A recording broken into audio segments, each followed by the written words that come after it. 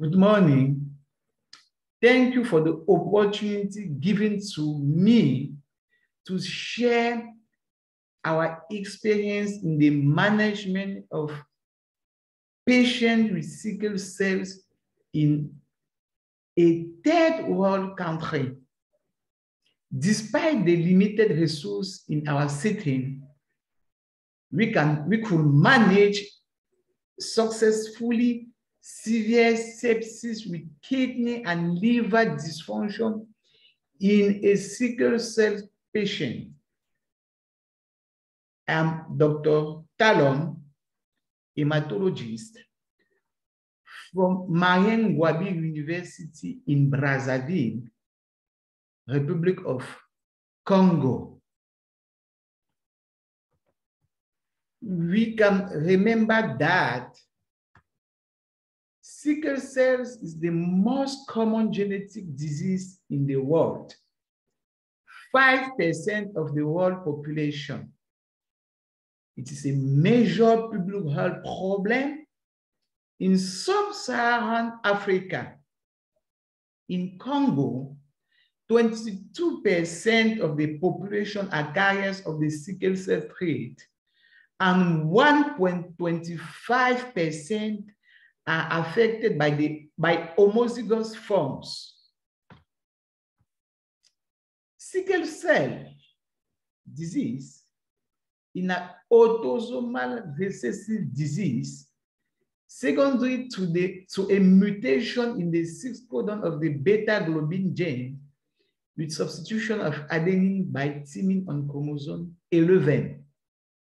It is characterized by the presence of abnormal hemoglobin, hemoglobin S, which has a particular property of polymerizing under certain conditions such as fever, hypoxia, acidosis, or dehydration. This pathology has acute and chronic complication. Amongst the acute complication in Africa, Infe infection remains the most frequent due to the limited access to immunization and social insecurity or precariousness. The bacteria, the bacteria involved, encapsulated germ in particular, which are responsible for severe infections, can develop into multi, multiple organs dysfunction we report three cases of severe sepsis with renal and hepatic failure recorded in the clinical hematology department of the Brazzaville University Teaching Hospital. The case one is a 70-year-old female, student living at about 600 kilometers away from Brazzaville, diagnosed with homozygous sickle cell disease since the age of three with no follow-up. Polytransfusions. The last transfusion was a week ago. She was admitted with limbs and abdominal pain, jaundice, and Coca-Cola color urine in a febrile context which started a week before, accompanied by a, an anuria that occurred 24 hours before admission. On admission, physical examination revealed clear consciousness, moderate pallor, frank mucocutaneous jaundice, altered general state, diffuse abdominal tenderness, hepatomegaly of 14 centimeters, high hypochondrium pain, blocking deep breathing and bone pain, urine test show pH 5 nitrite positive. The hemoglobin show moderate normocytic normochromic anemia, hyperleukocytosis at 83.6 giga per liter, predominantly neutrophil, 70.6 giga per liter, normal platelet count. Biochemistry reveal hypercreatinemia, hypercreatinemia, signs of hepatic cytolysis, hyponatremia. Abdominal renal ultrasound reveal a homogeneous hepatomegaly. Sensitive to the passage of the probe, a MODY, din wall gall bladder. Thus, the diagnosis of severe hepatobiliary sepsis with acute renal failure was made.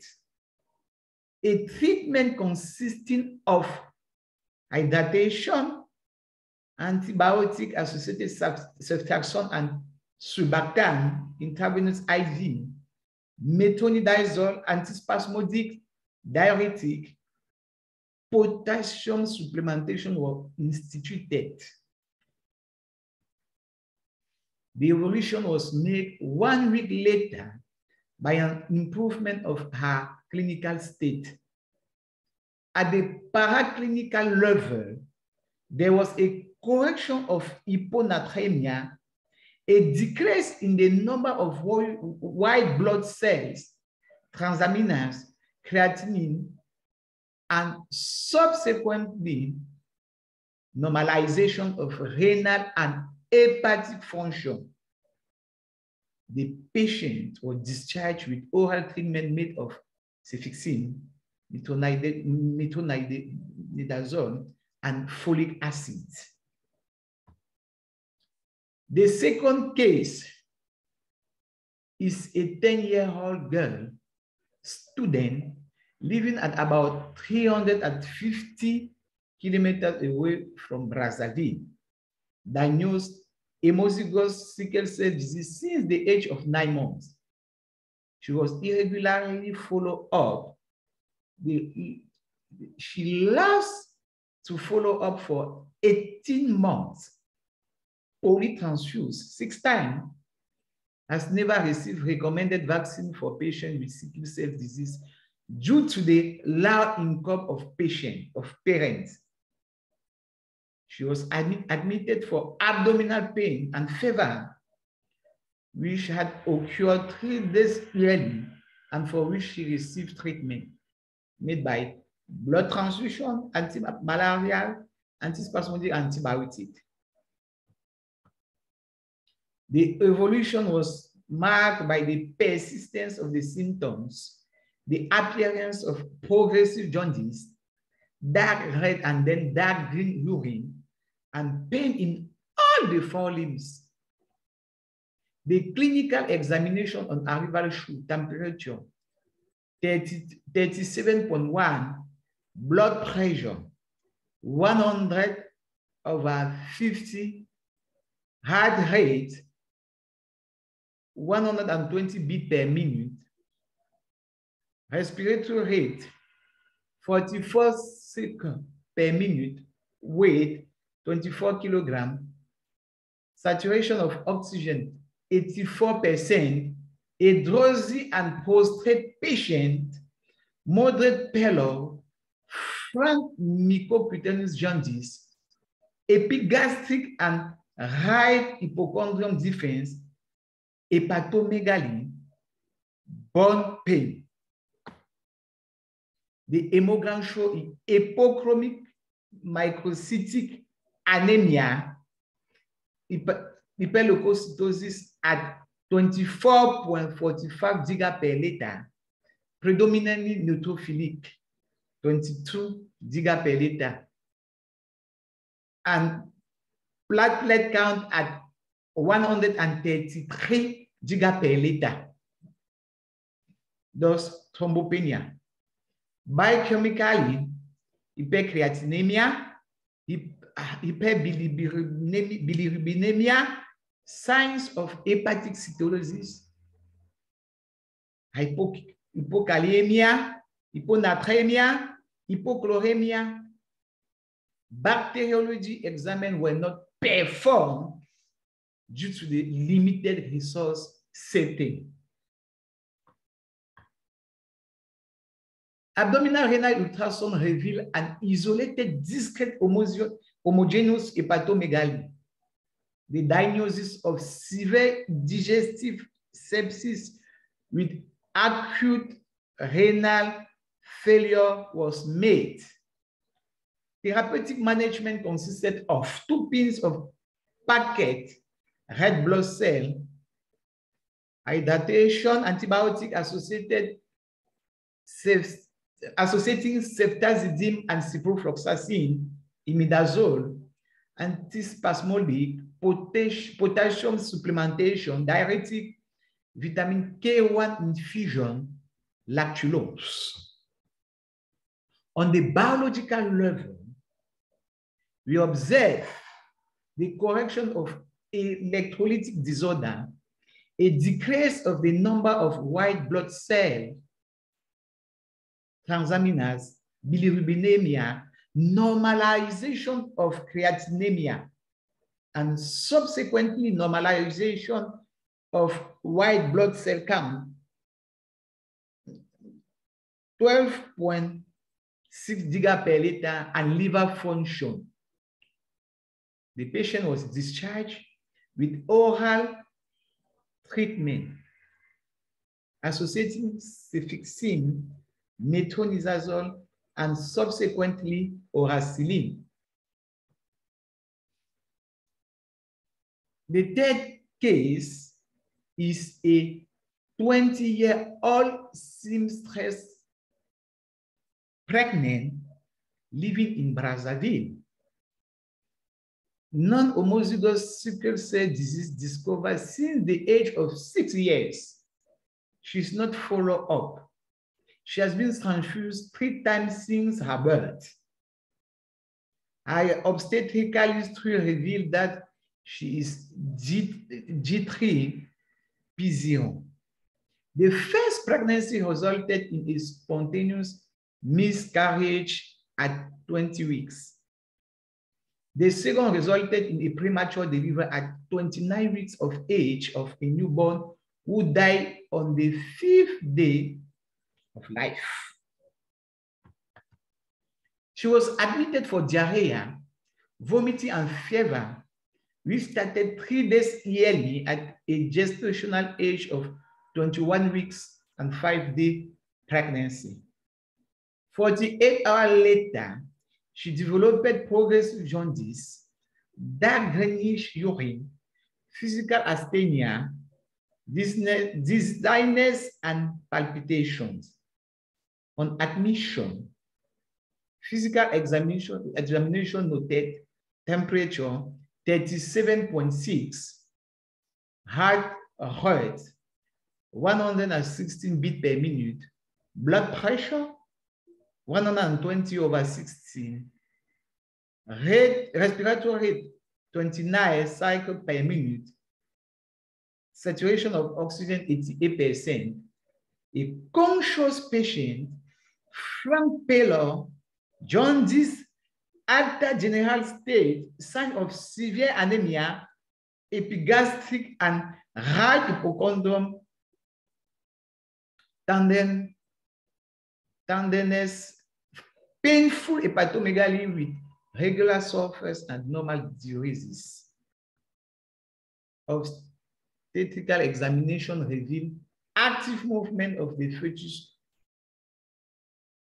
were not perceived by the mother within 8, 18 centimeter, abdominal circumference 83 centimeter, vagina, vaginal examination was normal.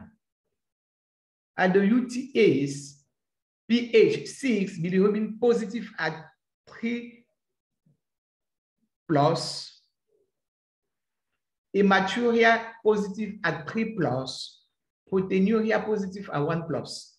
The hemogram show a severe normochromic macrocytic anemia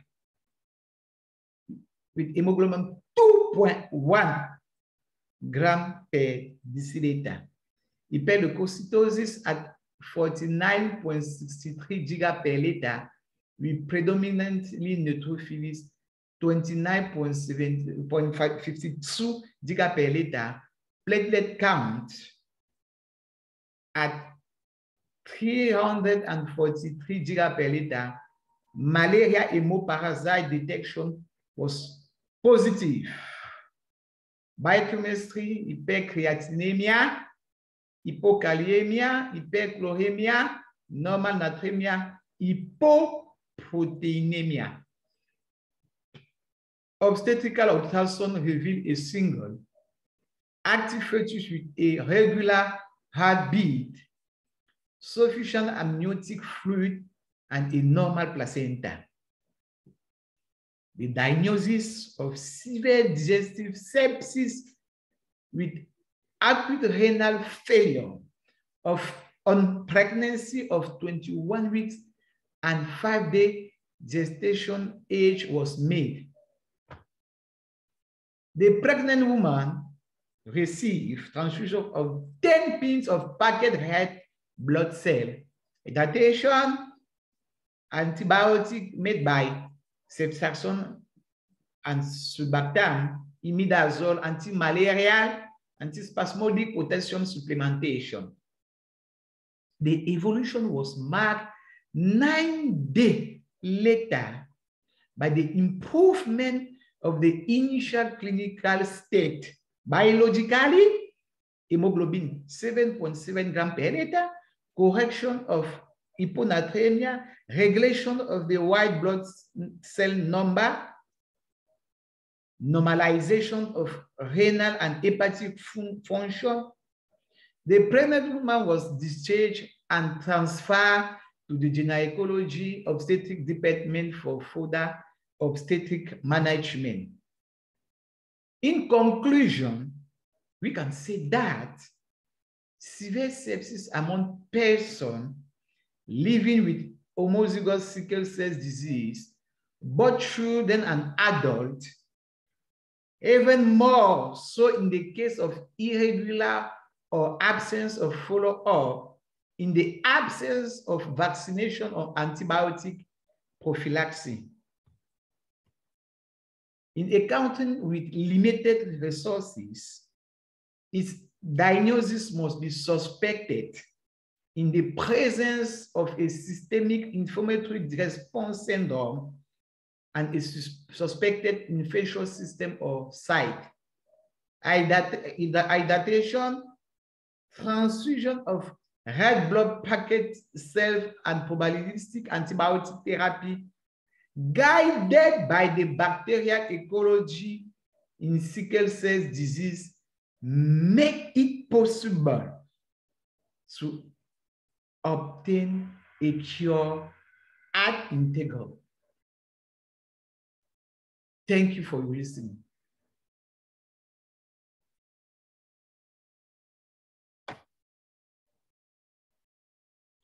Definitely.